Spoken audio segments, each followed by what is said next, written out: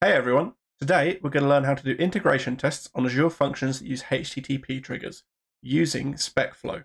That was a mouthful, let's jump into the code.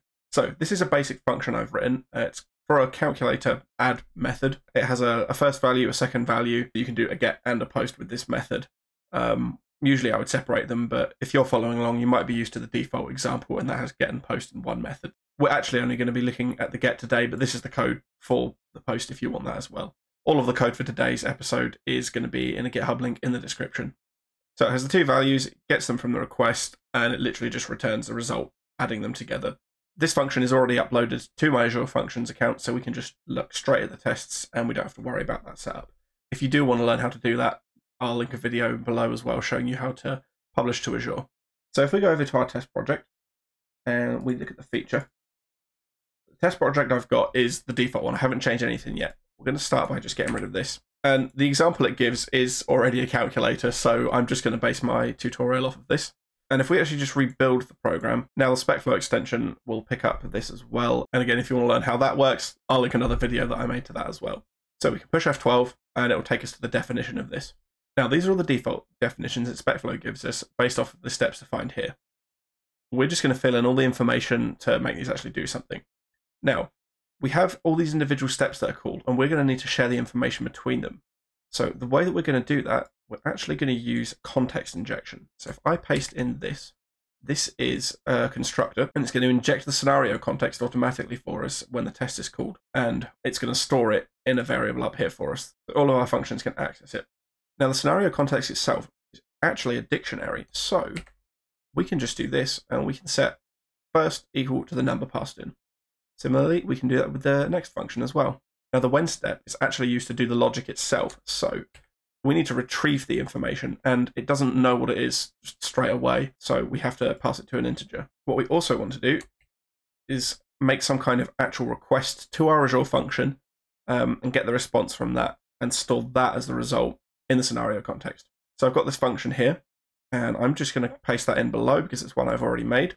And because we're using a HTTP trigger, we can literally just test this using a normal HTTP client. You'll notice the URL I've got here requires some bits that need to be filled in, namely the URL and the API key. So we're going to actually go and grab these from the Azure Function app in Azure itself. So this is our function app in Azure, and we actually need to get two values from this. We need the URL, which we can copy from here. And if we go to app keys, we're going to get an app key for the entire application so we can run multiple tests off of just one key. So now that we've got those, we can come back to Visual Studio and we can paste the URL in here and we can paste the API key in here. Now we're just going to hard code the connection string and the API key for now, but in your own project you really want to manage your secrets more securely. But this is just our example, so we'll have it nice and simple for now. So we have the next line which makes the request, and then we read the result at the end and return it after our when call, we've finally got our then function.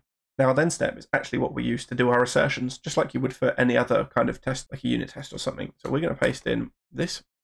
We're going to get the response. This time it's stored as a string because the web request gives us a string back and we don't really need to worry about passing the result. In fact, we can change the function input itself to be a string because this can be anything really. This just maps onto any value, so it doesn't actually have to, you know, specify integer anywhere. Although you can do that using regex if you want to. And here we're just doing an assertion using fluent assertions. Now, one thing I want to do before I hit run, I actually want to change this to 121. I want the test to break first. And the reason for that is we want to apply the theory of red green testing. So something should start out breaking, and then you should make a change to fix it. And that way, you know that your test is actually testing some code is working rather than, you know, the code sort of always passing behind the scenes and you just sort of accepting that you know, it's done what it's supposed to. We're actually going to make sure it's doing what it's supposed to. So we're going to run all of our tests, and the test has failed. And there we go. It's a bit hard to see, but expected response to be 121, but actually it's 120. So we know now it's actually calling our API and it's doing the addition properly. It's giving us the 120 we're expecting.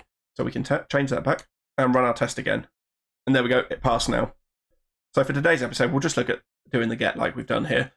If you want to test the post, all you need to do is do a normal post like you would do in a HTTP client. I hope you've enjoyed learning how to use SpecFlow today, do an integration test on an Azure function. If you liked this video, check back in the future and I'll be doing integration test videos for other types of trigger for a Azure function. If you don't want to miss that, maybe think about subscribing. Thank you very much for watching. Have a good day.